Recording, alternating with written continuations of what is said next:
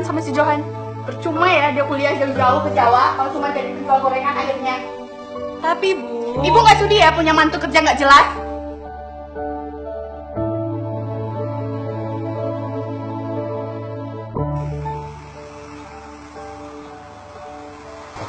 Pagi Bu. Tuh, mendingan kamu sama si Aldo aja. Dan nanti ibu bilangin sama orang tuanya. Sudahlah bu, jodoh di tangan Tuhan.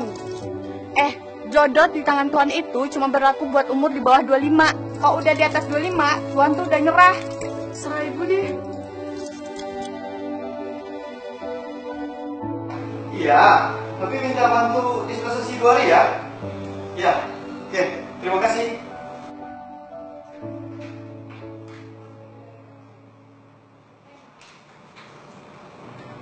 Assalamualaikum. Ya, barusan orang dalam telepon ya. Minta tagihan motor. Bantu tangi dulu ya. Bukannya ini masih awal bulan. Gaji kamu ke mana? Ayah, tadi saya itu cuma 600 ribu 500 untuk tagihan motor 100 ribu belum lagi buat beli minyak, minyak motor parfum, perawatan tambah lagi nongkrong-nongkrong sama teman Tapi ya udah deh, besok yang kirimin. Tapi kamu tetap semangat kerja ya. Ayah suka sekali dan kamu dan seragam ini. Ganteng sekali anak ayah. Nanti ayah minta bantu sama teman untuk ngangkat kamu di PNS. iya nih, ayah bantuin nih teman ayah kan banyak biar anakku jadi PNS ya Oke, nanti kalau kamu buka apa bilang ya. iya Assalamualaikum Hei bro, aku ini kok masih muda.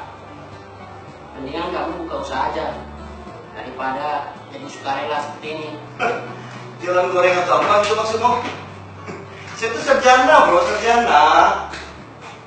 Apa kata orang nanti kalau saya cuma jualan gorengan? Lagian, mana bisa jadi PNS ditolongin. Terusnya aja online, mana bisa pakai orang dalam.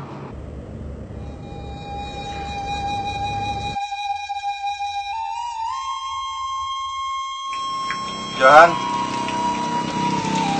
di kementerian buka tes PNS, apa kamu nggak ikut? Enggak apa. Biar Johan lanjutin usaha bapak ini aja. Kamu nggak malu apa? Jual gorengan di pinggir jalan?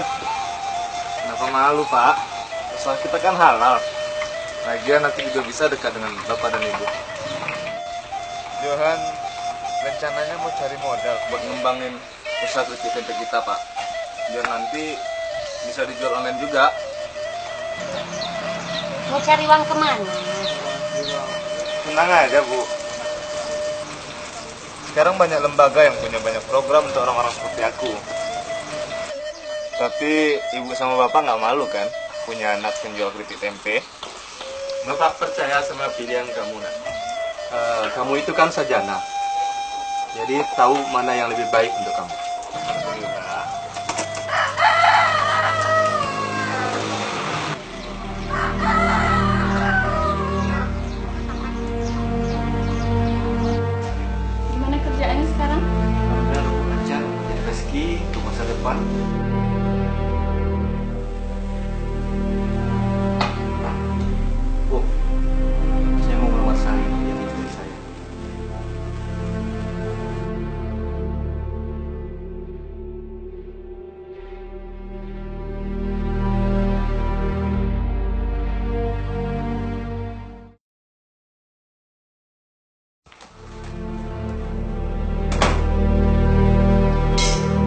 Kenapa bosan main mulu?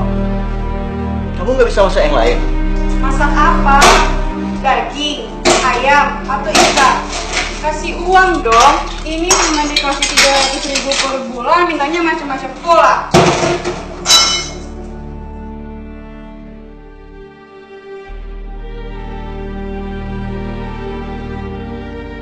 Ya, kirimin ke uang ya. Maaf, nak. Dan kamu.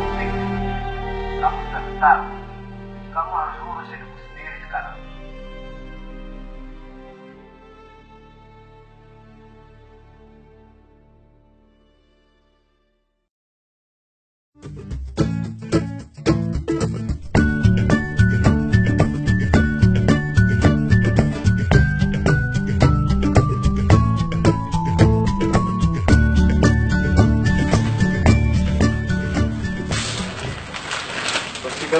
baik-baik ya mbak.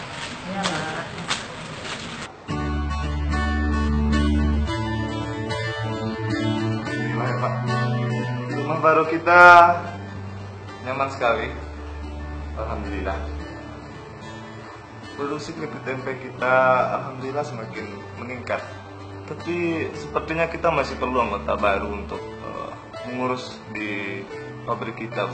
Itu masih kurang tenaganya. Ibu coba tanya orang-orang kalau masih ada yang nganggur. Iya, tambahan lima anggota baru bulan kemarin aja kita ambil dari kampung sebelah.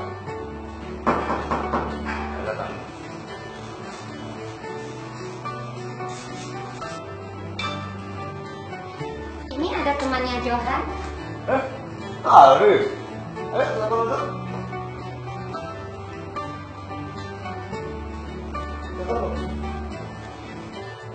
Kebetulan kita mau makan. Ayo kita makan sama-sama.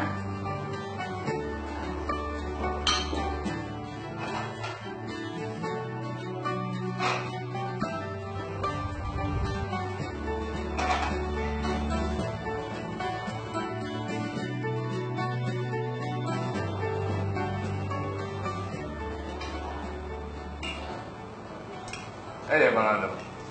Lancar kerjanya di kantor bupati. Ya, ya eh, rencananya mau melamar kerja pada Johan. Keripik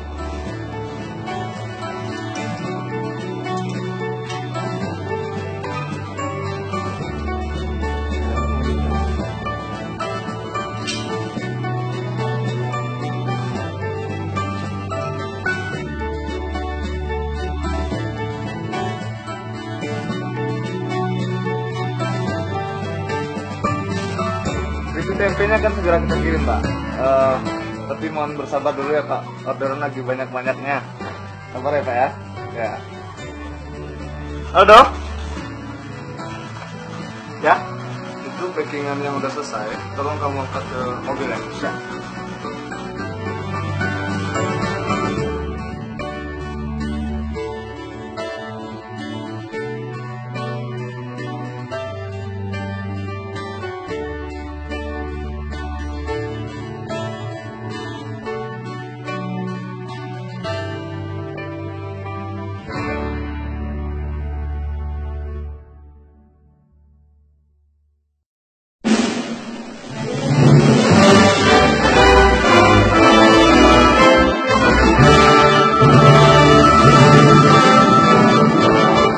Indonesia butuh pemuda-pemuda yang kreatif dan inovatif.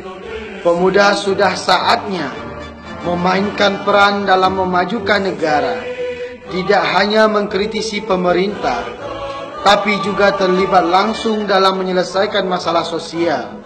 Jangan hanya berharap jadi PNS atau karyawan perusahaan. Ketika persaingan itu begitu ketat, maka cobalah untuk membaca peluang dan memanfaatkan potensi. Kalau tidak mampu bersaing di dunia teknologi, maka manfaatkan lahan kosong di daratan dan gali kekayaan sumber daya laut yang luas dengan cerdas.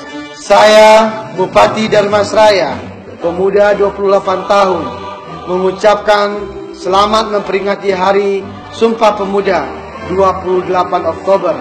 Mari kita menjadi pemuda yang memberi arti dalam kemajuan negeri. Merdeka!